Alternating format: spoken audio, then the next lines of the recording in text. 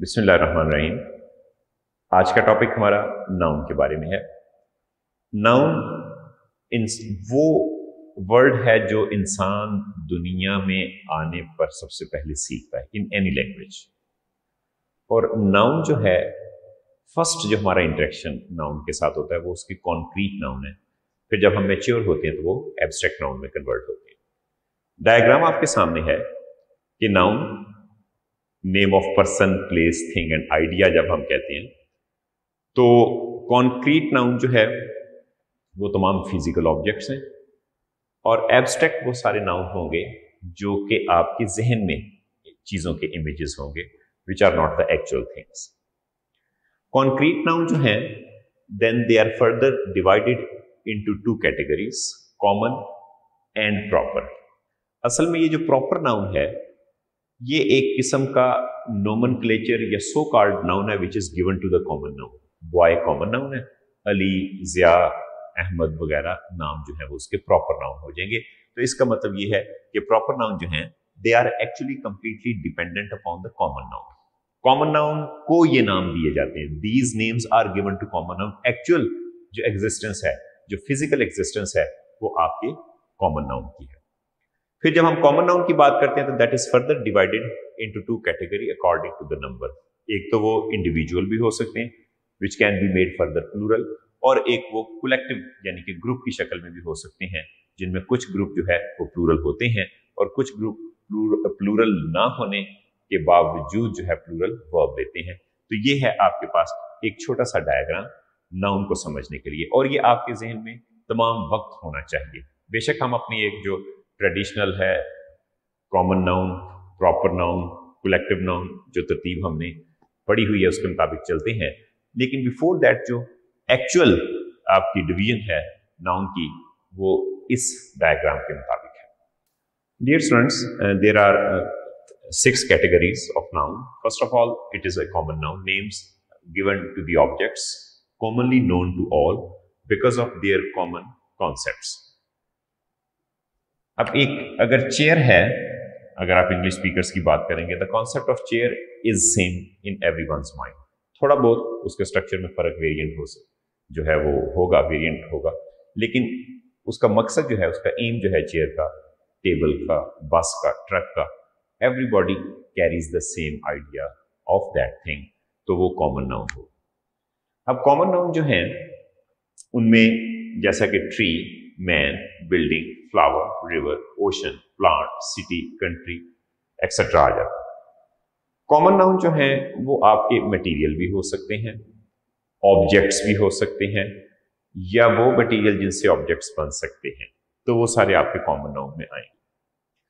Proper noun की अगर आप डेफिनेशन देखें तो specific names given to the things person places and ideas to make distinction either for recognition or for specification बाज का हम चीज़ों को नाम दे देते हैं।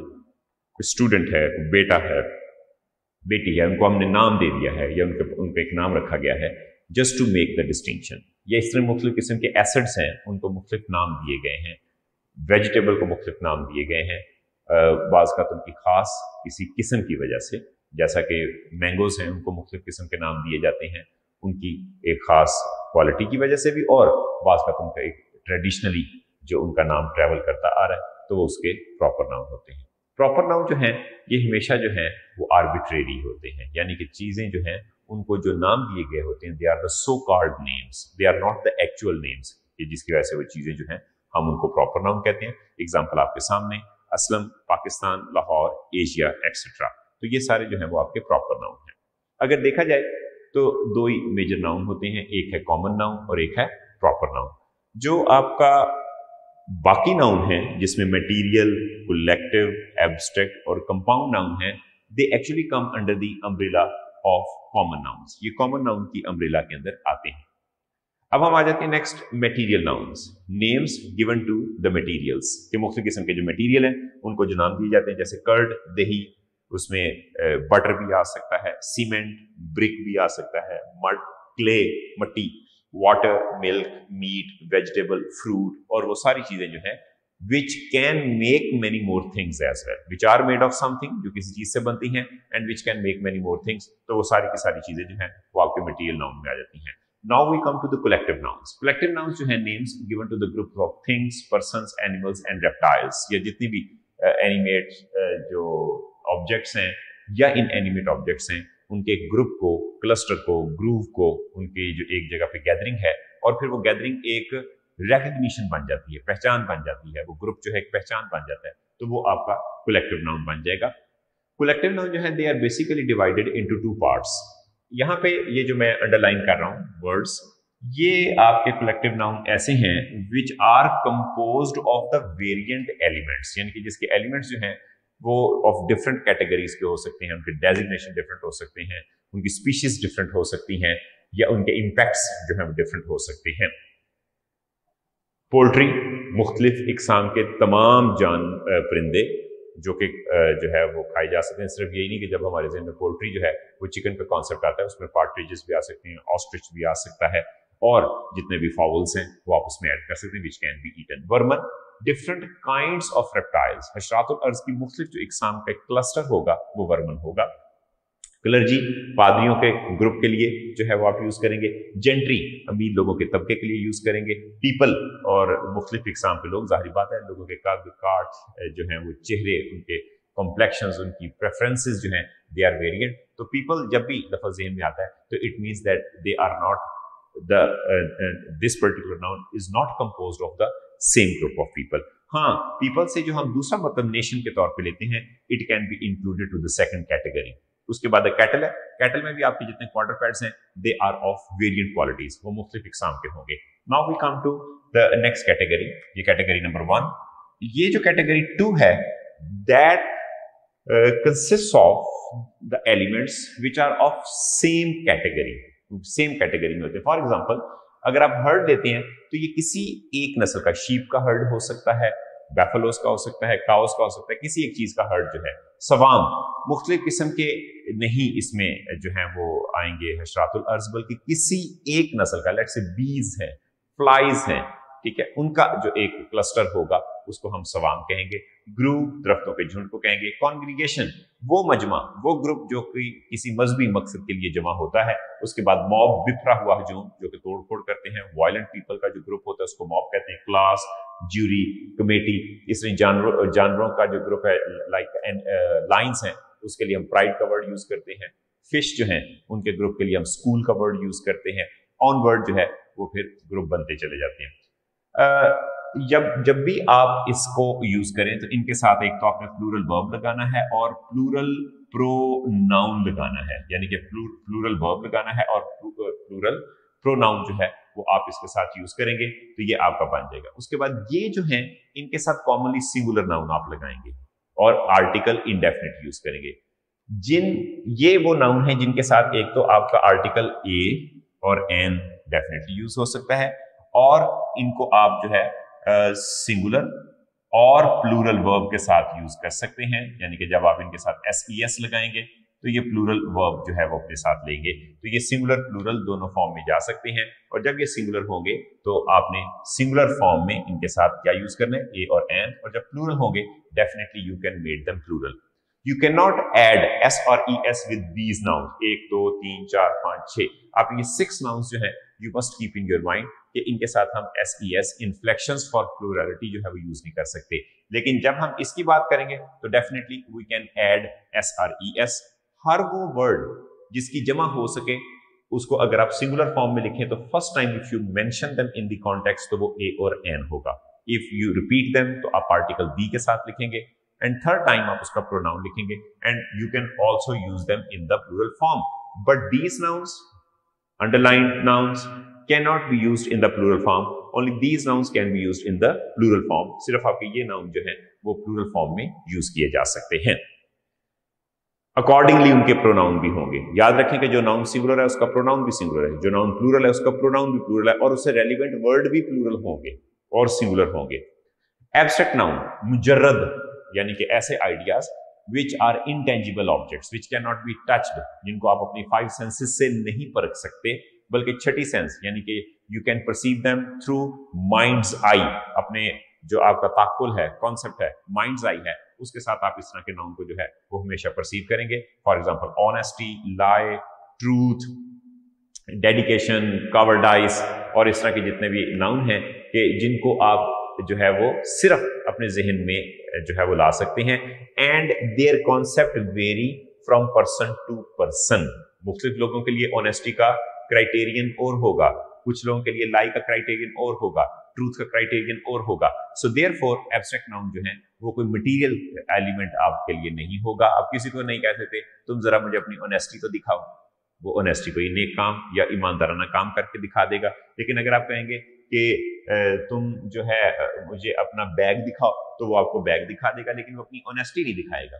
जब वो दिखाएगा, बस उस वक्त ही पता चलेगा। तो ऑनेस्टी लाई ट्रूथ जो इस तरह के वर्ड्स हैं, ये एब्स्ट्रैक्ट नाउन है। उसके बाद है compound noun compound noun consist of two nouns यानी कि दो नाउन पे मुश्तमिल होते हैं। मिसाल के तौर पे, अगर आप कहते हैं बैस रूम तो इसका मतलब ये है कि फ़र्स्ट नाउन जो है वो उसका एजेक्टिव होगा, और second noun is actually noun यानी कि कंपाउंड नाउन के अंदर पहला नाउन कभी प्लूरल नहीं करना, कभी आपने क्लासेस रूम्स नहीं कहना क्लास रूम्स कहना है। बहुत ज़्यादा इंग्लिश आई हो तो बाज लोग जो है वो क्लासेस रूम्स कह देते हैं तो वो शिद्दत जो है उसकी एस पे निकालते हैं but it is it shouldn't be the case तो लिहाजा आपने जो है ये वर्ड जो है, इनमें सेकंड वर्ड को हमेशा जो है वो प्लूरल करना है। यानी कि you can say there are four classrooms in this building तो क्लासरूम्स जो है वो आप उसके तौर पे जो है वो यूज़ करेंगे। अब ये बताना बड़ा ज़रूरी है कि इन नाउन के साथ आप क्या सलूक कर सकते हैं। सबसे पहली बात तो ये है, जब भी आप कॉमन नाउन यूज़ करें और वो कॉमन काउंटेबल हो, गिना जा सके तो आप उसके साथ a in case of consonant sound और an in case of vowel sound use करेंगे। यानी कि आप इनको सिंगुलर में, यानी कि ए आर एन इनकी सिंगुलर फॉर्म में आप यूज़ करेंगे, यानी कि सिंगुलर फॉर्म में आप इनके साथ ए या एन यूज़ करेंगे। लेकिन जब ये आप प्लूरल के तौर पे यूज़ करें तो first time do not use any article with them आप इनके साथ कोई आर्टिकल यूज़ ना करें। गौर से सुने जिस तरह। मैं आपको एग्जांपल देता हूँ। बॉयज़ आर प्लेइंग लड़के खेल रहे हैं। तो इसका मतलब यह हुआ कि there are boys you mention them first time, but they are unknown to you. They are stranger. No specification has been attached with them. लेकिन जब इनका ज़िक्र दोबारा करेंगे तो फिर आप कहेंगे the boys are my friends अब द बॉयज़ लिखने से मुराद है वो खेलते हुए लड़के तो जो आपका आर्टिकल द है वो एक्चुअली एक स्पेसिफायर है ना सिर्फ़ स्पेसिफायर है बल्कि वो एक रेफरेंशियल आइटम है वो रेफर रेफर कर रहा होता है किसको कर रहा होता है boys are playing in the same way मैं अभी आपको लिख के भी ये बात समझा देता हूँ कि जो आपके कॉमन सिंगुलर नाउन है, उनको फ़र्स्ट टाइम मेंशन करेंगे तो नो आर्टिकल एग्जांपल इसकी कुछ आप यूँ समझ लें कि अगर आपका कोई भी कॉमन नाउन है और ये आपने अपने किसी भी एक्सट्रैक्ट में, खास तौर पे in the first paragraph you must do then आपने फ़र्स्ट टाइम लिखा कि a boy is sitting in the lab. अब अब बॉय को मैं फ़िलहाल ज़िक्र कर रहा हूँ कि आपने फ़र्स्ट टाइम उसको मेंशन किया कॉन्टेक्स्ट में तो वो आ बॉय है। लैब में जो दी है, ये दी रेफर कर रहा है किसको? बॉय को। इसलिए दा। अब मैंने ये लिखा a boy is sitting in a lab इसका मतलब lab was unknown to you but now this lab has got its reference in the form of boy but boy has got no other reference? Therefore, i have to put indefinite article with it. दोबारा मैं ज़िक्र करूँगा boy का। The boy is the boy दूसरी दफ़ा आपने उसका लिखा the boy seems hard working ज़ाहिर बात है कि लैब में बच्चे कम वक्त गुजारते हैं तो ये अगर ये बैठा हुआ है तो इसका मतलब वो एक किस्म का हार्ड वर्किंग है। सीम्स हार्ड वर्किंग कि वो एक हार्ड वर्किंग स्टूडेंट जो है वो दिखाई देता है। एजेक्टिव आपने लगा दिया हार्ड वर्किंग पर्सन कट्ठा लिखना है आपने। ही ऑलवेज कॉन्सेंट्रेट हमेशा वो गौर फोज करता है। ही ऑलवेज कंसंट्रेट्स ये हमेशा जो है, वो कंसंट्रेट करता है। ही ऑलवेज कंसंट्रेट्स तो इसका मतलब ये हुआ कि first time you mention indefinite article second time when you mentioned, definite article. Third time you have used pronoun और जब तक ये पैराग्राफ पैराग्राफ खत्म नहीं हो जाता you just keep writing like that but जब यही कॉमन नाउन जो है काउंटेबल की मैं बात कर रहा हूँ, जब ये प्लूरल फॉर्म में आपके पास आ जाती हैं तो आपने इन कॉमन नाउन के साथ भी यही सलूक करना है and they are in plural form और प्लूरल फॉर्म में आपने इनके साथ जो है फ़र्स्ट टाइम क्या यूज़ करना है? As for example boys are playing के लड़के खेल रहे हैं आपने लिख दिया statement no article stranger first time mention in the context दूसरी दफ़ा कहेंगे the boys are my friends the boys are my friends के वो लड़के जो हैं वो मेरे दोस्त हैं the boys are my friends ठीक है ना कि वो लड़के जो हैं वो मेरे दोस्त हैं अब ज़ाहिर बात है कि जब आप इनको, इनका ज़िक्र जो है, वो फिर करते हैं। The boys are my friend एक आप कॉन्टेक्ट लिखते हैं फ्रेंड्स को लिख देते हैं। The boys are my friends और फिर आप मेंशन करते हैं, फिर दे ठीक है are in the habit of wasting their time in the habit of wasting their time.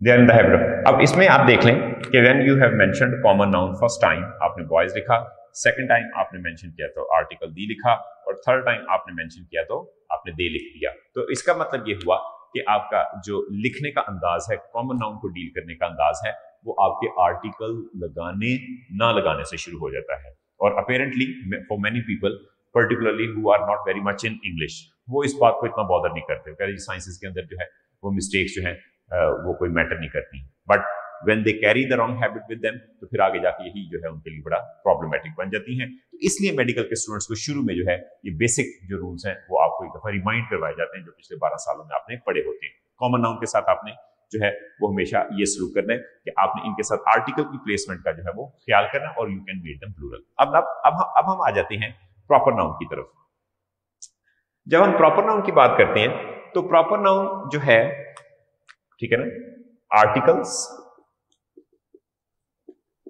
Plus proper noun अगर हम आर्टिकल्स और प्रॉपर नाउन के हवाले से बात करें तो आर्टिकल्स और प्रॉपर नाउन के अंदर आपने एक बात का ख्याल रखना है कि नो आर्टिकल ठीक है ना? नंबर वन जो इसका रूल होगा no article is use no article आपने प्रॉपर नाउन के साथ जो है, वो नहीं यूज़ करना ये तो मैंने सिर्फ़ आपको एक टॉपिक के तौर पर बताया कि इस वक्त हमने ये फैसला करना है कि should we use article with proper noun or not definitely not in the general use जब आप कॉमन यूज़ करते हैं तो आपने प्रॉपर नाउन के साथ जो है वो कोई आर्टिकल यूज़ नहीं करना। मिसाल के तौर पर आपके लिए एक एग्ज़ाम्पल है कि honesty is the best policy article proper नाम के साथ। Ali is my best friend Ali is my best friend Ali जो है, वो मेरा बेहतरीन दोस्त है। अब आपने अली के साथ कोई आर्टिकल नहीं लगाया कि an Ali is my best friend तो फिर तो इसकी इम्प्लीकेचर ये बनता है कि आई हैव मैनी अलीज ठीक है ना? One Ali is my best friend no it is not the expression हमेशा ये है कि प्रॉपर नाउन के साथ Ali is my best friend आप लिख सकते हैं। अब मसला ये क्रिएट होता है कि क्या हम प्रॉपर नाउन के साथ जो है, वो आर्टिकल लगा सकते हैं?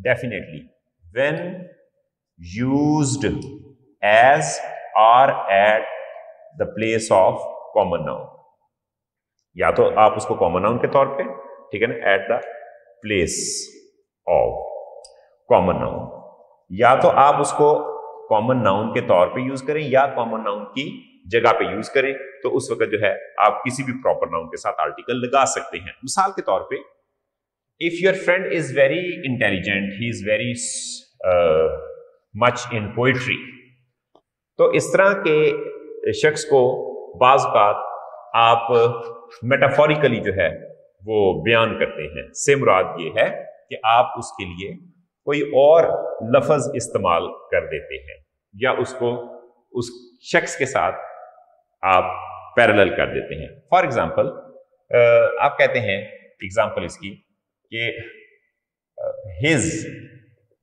brother is the Ghalib of his family Ghalib of his family कि उसका भाई जो है, वो उसकी फैमिली का क्या है? गालिब है। अब इसका मतलब ये है कि we are not talking of original Ghalib हम ओरिजिनल गालिब की बात नहीं कर रहे। हमने जब कहा ना दा गालिब तो हम एक्चुअली दा से मतलब लाइक का ले रहे हैं कि his brother is like Ghalib of his family यानी कि उसका भाई जो है, वो इस खानदान का गालिब है। दिया कि गालिब की तरह पोइट्री करता है बिहेव करता है, आम ज़्यादा पसंद करता है, उस तरह की टोपी पहनता है गेटअप उस तरह का करता है। कोई भी करेक्टरिस्टिक हो सकती है, क्योंकि जब भी हम इस्ताराती यानी मेटाफोरिकली किसी एक चीज़ को दूसरे के साथ एसोसिएट करते हैं तो उसका मतलब ये होता है कि हम उसकी सारी क्वालिटीज को जो है वो ऐड करते हैं, जबकि सिमिली के अंदर हम किसी एक क्वालिटी को अटैच करते हैं। तो उस सूरत में आप आर्टिकल द जो है वो गालिब के साथ लगा सकते हैं। तीसरे जो नंबर पे आपने चीज़ याद रखनी है जितने भी हेवनली बॉडीज होते हैं ठीक है? आ, उनके साथ हम आर्टिकल दी तो लगाते हैं ठीक है ना? हेवनली बॉडीज आपने उनके साथ जो है वो द ज़रूर लगाना है। फॉर एग्ज़ाम्पल अगरचे वो कॉमन नाउन तो हैं लेकिन जब आप लिखेंगे द स्टार्स तो इसका मतलब सारे सारे। द अर्थ, इसका मतलब हमारी ज़मीन। द मून, इसका मतलब चाँद। द सन, इसका मतलब ये हो गया कि सन। अब क्वेश्चन ये रेज होता है कि क्या इनके साथ हम आर्टिकल दी नहीं भी लगा सकते? हाँ बिल्कुल। आप इनके साथ आर्टिकल दी भी नहीं लगा सकते और जब आप इनके साथ आर्टिकल द नहीं लगाएँगे तो उस वक्त ये कैपिटल लेटर के साथ लिखे जाएँगे। उस वक्त हम इनको एक जो पूरी लिस्ट है, उसके साथ यूज़ करते हैं। फॉर एग्ज़ाम्पल आपने लिखा कवर्ड आपने लिख दिया। जुपिटर कवर्ड आपने लिख दिया, ठीक है ना? और जब आप मार्स जुपिटर लिखेंगे तो फिर क्या लिखेंगे? अर्थ फिर क्या लिखेंगे? मून फिर क्या लिखेंगे? सन अब इसका मतलब ये है कि you are putting these nouns which are common to us because we can see them daily whenever we open our eyes and look at the sky. We can see these objects या जब ज़मीन के बारे में हमें common सा concept है। लेकिन जब हम इनको आप समझ लें कि साइंटिफिक कॉन्टेक्स्ट के अंदर डिस्कस करेंगे। लेट से हमने इनके क्लाइमेट के बारे में हैबिटेट के बारे में, इसके ऊपर जो अवेलेबल ऑक्सीजन कार्बन डाइऑक्साइड की मकदार और उसका कंपैरिजन की जब हम बात करेंगे तो फिर हम ये नहीं करेंगे कि मार्स के साथ तो दी ना लगाएँ और सन के साथ दी लगाना शुरू कर दें। लेकिन जब हम अपनी day to day life social life के अंदर चीज़ों की इनकी बात करेंगे तो उस वक्त ये कॉमन नाउन होंगे। और अब देख लें कि by removing the common noun and placing the capital article with these noun makes them proper noun फिर ये एक प्रॉपर नाउन के तौर पे फ़ंक्शन करते हैं। So your punctuation are very important last test के अंदर जो पहला क्वेश्चन है, वही पंक्चुएशन के बारे में है। तो capitalization is a part of punctuation we should be very vigilant about it as well तो एक तो प्रॉपर नाउन के साथ आप आर्टिकल दी नहीं लगाएँगे। अगला आपका आर्टिकल दी जो है प्रॉपर नाउन के साथ, क्योंकि प्रॉपर नाउन के साथ रिलेटेड जो मिसाइल हैं I am discussing all these for example जब भी आप आर्टिकल दा लगाएँ, और उसके बाद अगर कोई प्रॉपर नाउन आ जाए, और कोई कॉमन नाउन आ जाए तो असल में वो दा उस कॉमन नाउन के लिए होता है प्रॉपर नाउन के लिए नहीं होता। मैं आपको इसकी छोटी सी एग्जांपल दे देता हूँ। फॉर एग्जांपल अगर आप कहते हैं कि यूनाइटेड स्टेट्स ऑफ़ अमेरिका कि अमेरिका एक तो इसके साथ जो आपने एक्चुअल आर्टिकल द लगाया है, वो अमेरिका के लिए नहीं लगाया। आप अमेरिका के जब सिंपल बोलते हैं तो आप कभी भी नहीं कहते द अमेरिका आप सिंपल कहते हैं अमेरिका तो उस सूरत में ये है कि आप article the actually is for states अब ये द का स्टेट से पहले आर्टिकल इसलिए लगाना है कि इन स्टेट का ये जो ऑफ़ अमेरिका है ये एक्चुअली एक एजेक्टिव फ्रेज के तौर पे काम कर रहा है, जिसकी वजह से वो स्टेट्स जो है वो स्पेसिफिक हो जाती हैं और उस स्पेसिफिसिटी की वजह से जो है we place article the before it तो ये हम आर्टिकल द जो है उसके साथ लगाते हैं। तो इसका मतलब ये हुआ कि सबसे पहले हम आर्टिकल दी किसके साथ लगाते हैं? ग्रुप्स ऑफ़ स्टेट्स के साथ। और उनमें आपके सामने एग्ज़ाम्पल मैं लिख देता हूँ। और इसमें देख लें स्टेट्स है आप कहते हैं कि द यूएसए ठीक है United States of America the UK United Kingdom जबकि इंग्लैंड या ब्रिटेनिया जब आप बोलते हैं तो you do not place article with them वो नहीं होता। और इसके अलावा आपके जो group of the West Indies ठीक है जी द वेस्ट इंडीज तो इसका मतलब ये हुआ दा किसके लिए था? इंडीज के लिए। और ये दा किसके लिए था? किंगडम के लिए। Kingdom is a common noun और फिर ये दा किसके लिए था? स्टेट्स के लिए था। So therefore we say that article the should be placed before the proper nouns which are group of states अच्छा इस तरह फिर ये है कि अगर ग्रुप ऑफ़ स्टेट्स हैं तो फिर हम चेन ऑफ़ जो है चेन्स ऑफ़ माउंटेन्स जो हैं, उनके साथ भी लगा देते हैं। ठीक है ना? अगर हम कहते हैं द हमालियाज तो असल में उससे इम्प्लीकेचर ये होता है द हिल्स ऑफ़ हमालिया ठीक है ना? द हमालियाज की जब हम बात करते हैं तो इसका मतलब द हिल्स ऑफ़ हमालिया लेकिन जब क्राक्रम टू की बात करते हैं के टू की बात करते हैं तो फिर द के टू हम नहीं लिखते। तो जब भी एक चेन आ जाए या ग्रुप आ जाए माउंटेन्स का तो उससे पहले आर्टिकल दी लगाना जो है, बाज का वो लफज लिखा हुआ होता है। जिस तरह आप देखें कि मैंने बोला कि states is a written word और ये आर्टिकल दी जो है it is nothing to do with America United or all it is only for states that has become proper why because of America America की वजह से proper बन गया। Then आपके पास मैंने जैसे बाकी एग्जांपल दी, हम कह देते हैं कि द चेन्स ऑफ़ माउंटेन और चेन्स ऑफ़ माउंटेन में हम कहते हैं कि द हमालिया असल में है हिल्स द हमालिया हिल्स ठीक है ना? द क्राक्रम हिल्स तो हम simple the Karakoram the Himalaya जो है, वो लिख लेते हैं। तो लिहाजा उनके साथ आएगा। तीसरे नंबर पे हमारे पास जितने भी रिवर्स हैं, उनके साथ ओशंस के साथ सीज के साथ लेक्स के साथ, अगर उनके साथ दी का कॉन्सेप्ट है तो आप उनके साथ जो है, वो ये लिखेंगे। कैनाल के साथ भी आप जो है, वो यूज़ कर सकते हैं। फॉर एग्ज़ाम्पल इसके साथ जब आप लिखते हैं दी रावी रिवर ठीक है ना? तो जब आपने लिखा दी रावी रिवर, और दूसरी बात आपने ख्याल करनी है कि जो रिवर का आर है वो भी कैपिटल होगा because now it has become a title when it has become a title all the words should start should be written with capital letter with capital letter से rather पहला होना चाहिए। अगर मैं कहूँ इन कैपिटल लेटर इसको मतलब सारे कैपिटल लेटर होने चाहिए। उसके बाद दूसरा हम यहाँ पर करते हैं द इंडियन ओशन ठीक है ना?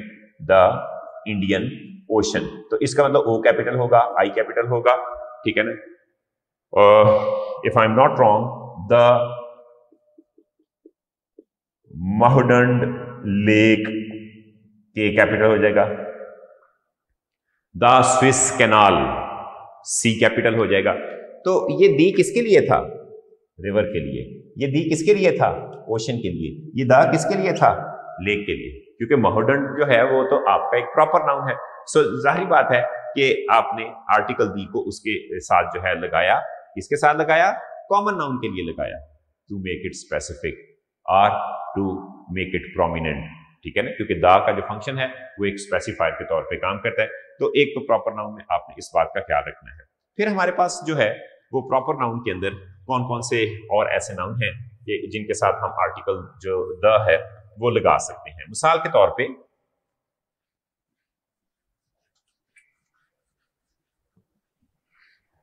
हमारे पास जो है, वो जो सबसे बड़ी बात है कि होली बुक्स जितनी भी हैं, होली नेम्स के साथ, ठीक है ना? और उनमें भी होली नेम जब हम कहते हैं, the holy prophet peace be upon him, सल्लल्लाहु अलैहि वसल्लम तो द जो है, वो वर्ड जो है प्रॉफिट और पी कैपिटल लिखेंगे the holy prophet peace be upon जिससे हम कहते हैं दी बाइबल जब आप लिखा द बाइबल तो असल में पूरा अगर इसका नाम है जो हम इससे सिमेंटिक्स सिमेंटिकली अगर मैं इसकी बात करूँ मीनिंग के हवाले कर तो हम कहेंगे the holy scriptures of Bible के बाइबल के जो मुकदस सहीफे हैं the holy scriptures of Bible तो उसके हवाले से बात होगी the Quran the holy Quran ठीक है ना? द बाइबल या द होली कुरान ठीक है ना? The holy book of Bible you भी लिख सकते हैं, ठीक है ना? यू भी, यानी कि आप the holy book of Bible the holy book of Bible ठीक है ना?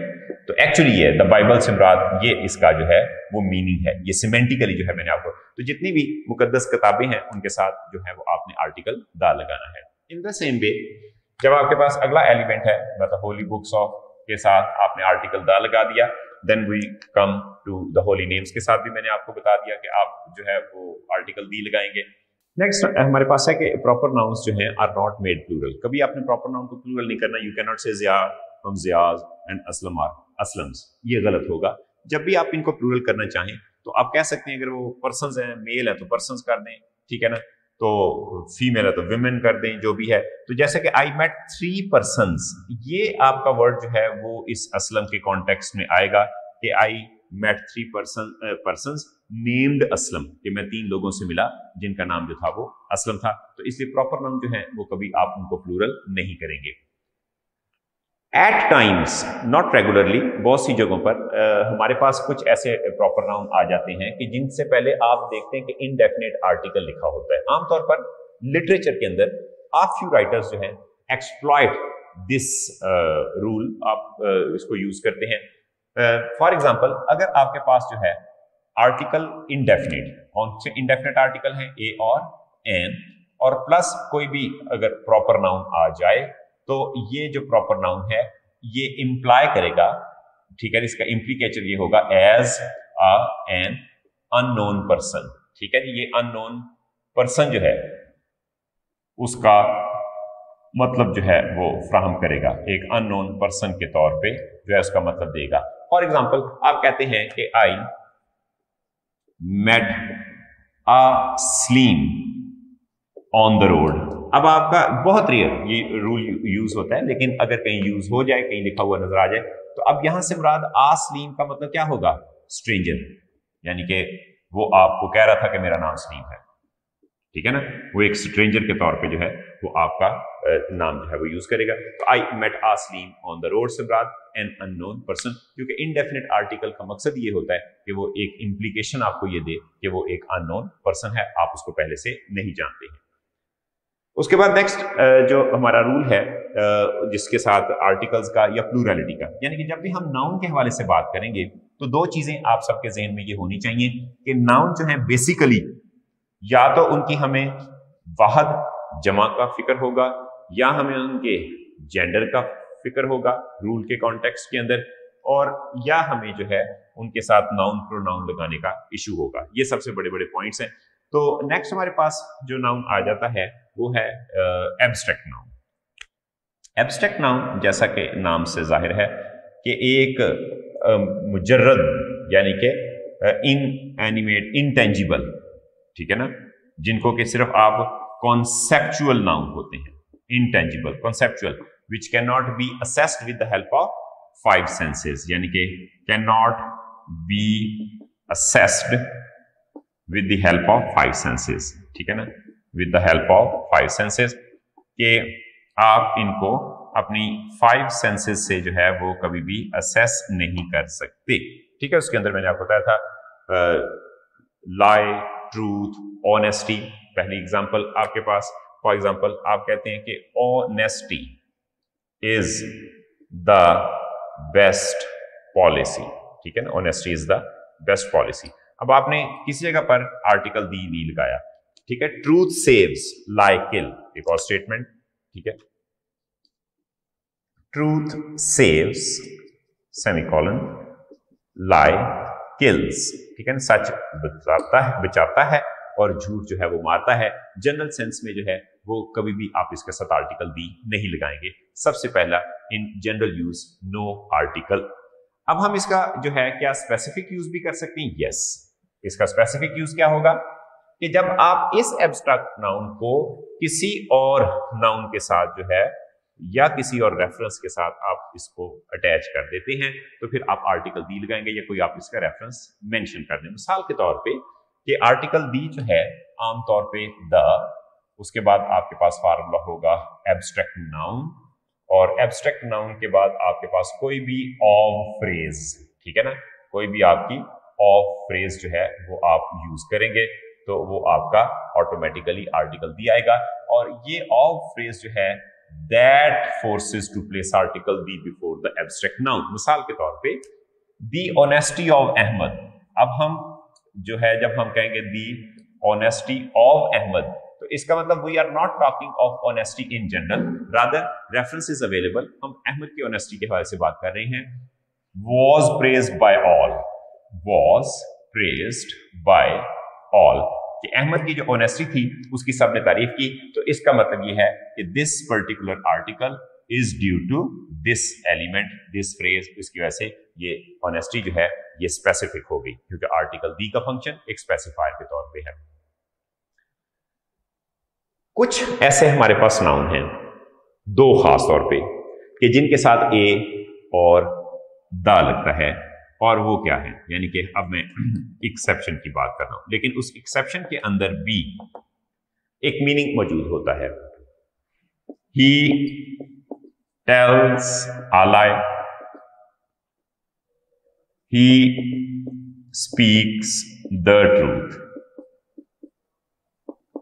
he tells a lie he speaks the truth अब यहाँ पे जो सबसे बड़ा मसला है कि जो झूठ होता है वो डेफिनेट नहीं होता। इनडेफिनेट होता है। गैर यकीनी। इनडेफिनेट से मेरा लामहदूद तो है। इनडेफिनेट से दूसरा मतलब ये भी होगा जो गैर यकीनी होता है। तो इसका मतलब ये है कि जो बात उसने कही है वो कोई गैर यकीनी है तो आपने इनडेफिनेट आर्टिकल लगा दिया। ठीक है ना? यानी कि ये ए का मतलब क्या है? इनडेफिनेट आर्टिकल अब ये जो इनडेफिनेट आर्टिकल था, ठीक है ना? अब ये जो इनडेफिनेट आर्टिकल है, ये एक गैर यकीनी बात करता है। और गैर यकीनी बात से मुराद ये होता है कि आपके पास वो चीज़ सच्ची नहीं है, ठीक है ना?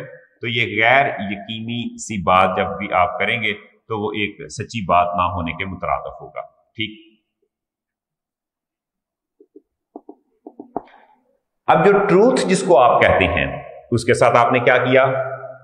डेफिनेट आर्टिकल लगा दिया।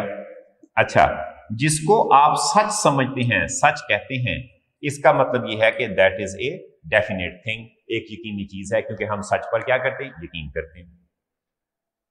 ही टेल्स आ आगे इसका मतलब यह है कि यहाँ पे कोई ना कोई कॉमन नाउन होना चाहिए था, यहाँ पर भी कोई ना कोई नाउन होना चाहिए था। और वो जो नाउन है, असल में वो हमने इसके अंदर ही मदगम कर दिया है।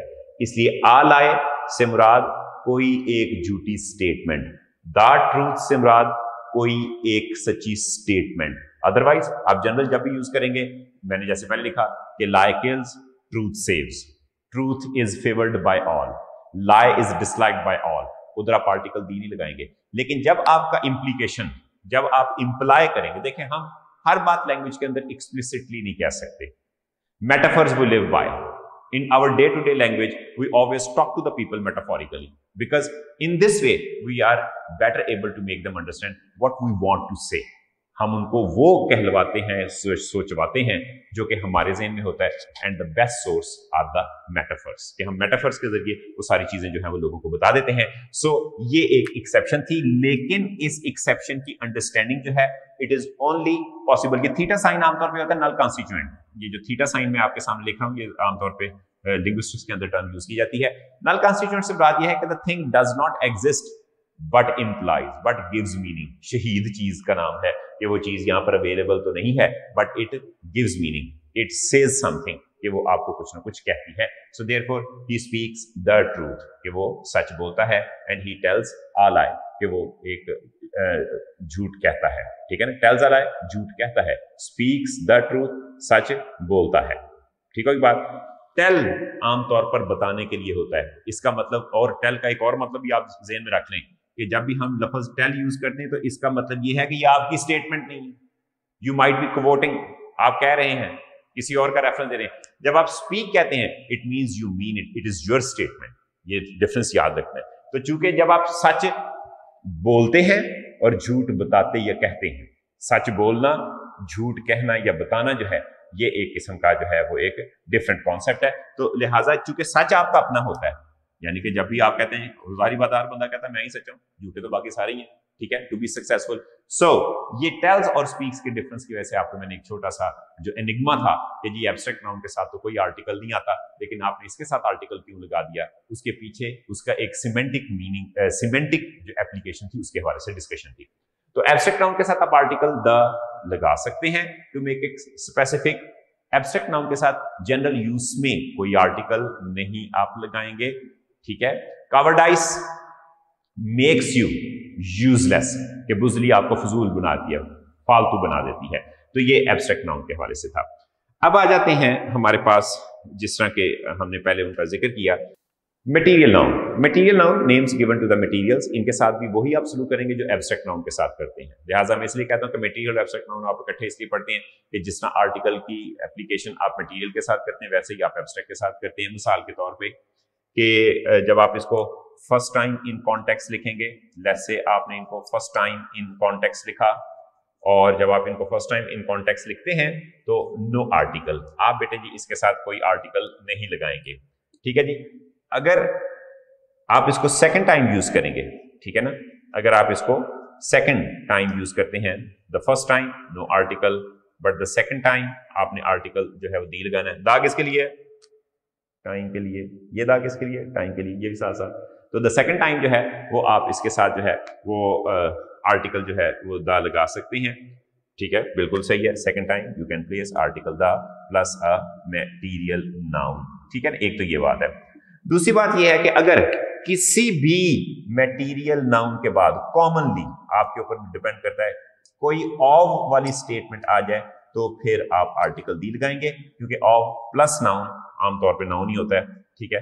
ऑफ़ प्लस नाउन जो है, वो आमतौर पे इसका स्पेसिफायर बन जा स्पेसिफिकेशन बन जाती है तो फिर हम उस स्पेसिफिकेशन को आर्टिकल दी जो कि एक स्पेसिफायर है, उससे मेंशन करते हैं। मिसाल के तौर पे, आपके सामने एग्जांपल है milk is good for health milk is good for health कि दूध जो है, वो सेहत के लिए अच्छा है। जनरल बात है, कोई ऐसी बात नहीं है। लेकिन जब आप इसको आ, कोई भी प्रेपोजिशन फ्रेज या कोई डिपेंडेंट क्लॉज विच के साथ जो स्टार्ट हो या दैट के साथ हो तो भी आप इसके साथ आर्टिकल दा लगा देंगे। ठीक है ना? कि किसी मटेरियल नाउन के साथ चाहे आप ये वाली फ्रेज या कोई डिपेंडेंट क्लॉज ठीक है? वो आप लगा देंगे। तो आप क्या करेंगे? आर्टिकल दी लगाएँगे। पहले ऑफ़ के साथ लिख रहे हैं। For example, the milk of cow is much better. ठीक है ना? तो जब आपने कहा milk of cow is much better तो इसका मतलब हम सिंपल मिल्क की बात नहीं कर रहे किसके मिल्क की बात कर रहे हैं? काउ की। तो इसका मतलब ये कि आर्टिकल दी उसके लिए है। इस तरह आप एक और चीज़ लिख लें कि द वॉटर यू ड्रैंक यानी कि which you drank was poisonous article the के साथ दी वॉटर विच या that you drank was contaminated. Was contaminated. तो जो पानी तुमने पिया, वो क्या था? Contaminated. The water you drank was contaminated. ये जो पानी तुमने पिया, वो बहुत जहर अब जो उसकी कंटेमिनेशन है that is not the important ingredient of water तो फिर जो, अब आपने कहा दैट यू ड्रैंक वो जो तुमने पिया not all kind of water या नॉट द होल वाटर जितना स्पेसिफिक वाटर जो है, उसके लिए फिर आपने आर्टिकल दी लिया। तो आर्टिकल दी किसकी वजह से? दैट यू ड्रैंक यानी कि ये जो आपका एरिया है, ठीक है ना? दैट यू ड्रैंक इसकी वजह से आपने आर्टिकल द जो है वो लगा दिया। तो वॉट यू ड्रैंक ठीक है ना? वो पानी जो तुमने पिया वॉज़ कंटेमिनेटेड आई होप कि आपको अंडरस्टैंडिंग होगी होगी। दूसरी बात यह है नेक्स्ट अगला पॉइंट है, कि material nouns are not made plural material nouns are not made plural assisting word के साथ हो सकते हैं क्वालिफाइंग वर्ड के साथ हो सकते हैं, लेकिन मेटीरियल नाउन जो हैं, उनको प्लूरल नहीं किया जाता। मेटीरियल जैसा कि मैंने पहले भी कहा था, और एब्स्ट्रैक्ट और एब्स्ट्रैक्ट नाउन इसके साथ ही आप समझ लें। Nouns are not made plural आपने इनको प्लूरल नहीं करना आर नॉट मेड प्लूरल मिसाल के तौर पे मटीरियल नाउन में ही बॉड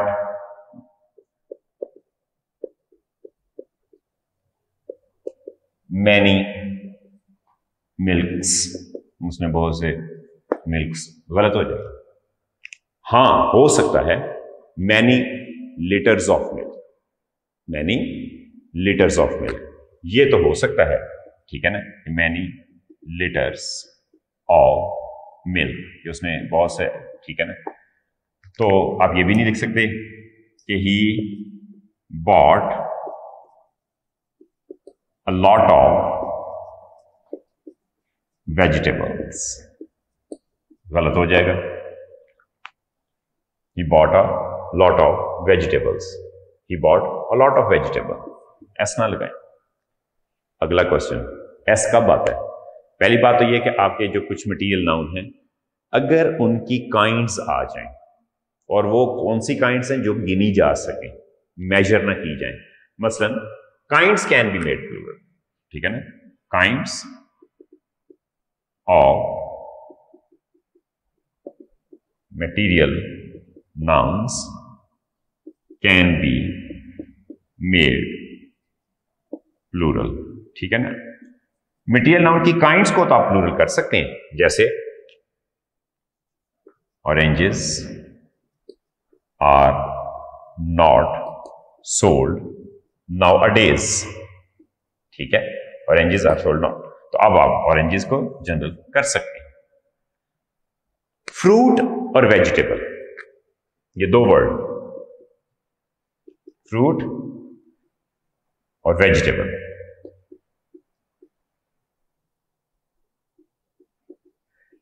इनके साथ आप एस लगा सकते हैं। एस ई एस लगा सकते हैं। कब? जब इनकी काइंड्स मेंशन की जाए। काइंड्स इटसेल्फ तो प्लूरल हो सकती लेकिन अगर काइंड्स मेंशन की जाए, तब भी ये जो है फ्रूट्स और वेजिटेबल्स जो हैं, वो प्लूरल हो सकते हैं। मिसाल के तौर पे vegetables like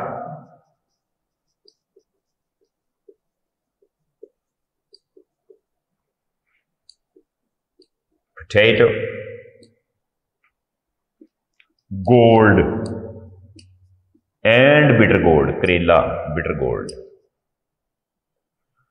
कठा वर्ड है bitter gold are good for health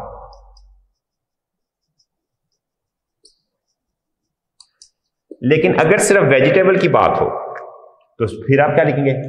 Vegetable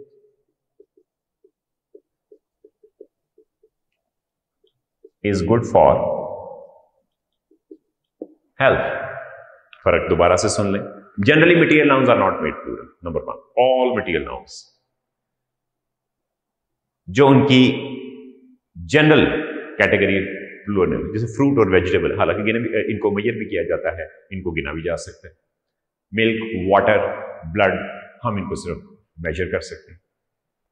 लेकिन मटीरियल नाउन में कुछ उनकी ऐसी कैटेगरीज हैं कि विच आर काउंटेबल जिस तरह बहुत से आपके फल काउंटेबल है, अगरचे वो तोल के दिए जाते हैं, मे भी किसी जगह पर उनको गिन के भी दिया जाता हो, किन्नू जो हैं, वो दर्जन के हिसाब से दिए जाते हैं, तोले नहीं जाते। तो जब आप उनको एक काउंटेबल यूनिट के तौर पे ट्रीट कर सकते हैं, उनकी काइंड्स को तो आप जमा कर सकते हैं। फ्रूट और वेजिटेबल ये दो वर्ड आपने याद रखने कि इनके साथ हम एस लगा सकते हैं, जैसे कि मैंने यहाँ पर लगाया। कब? When we mention their kinds. But when we talk of them in the general context, general view में जब हम इनकी बात करेंगे तो फिर वेजिटेबल के साथ आप कोई आर्टिकल नहीं लगाएँगे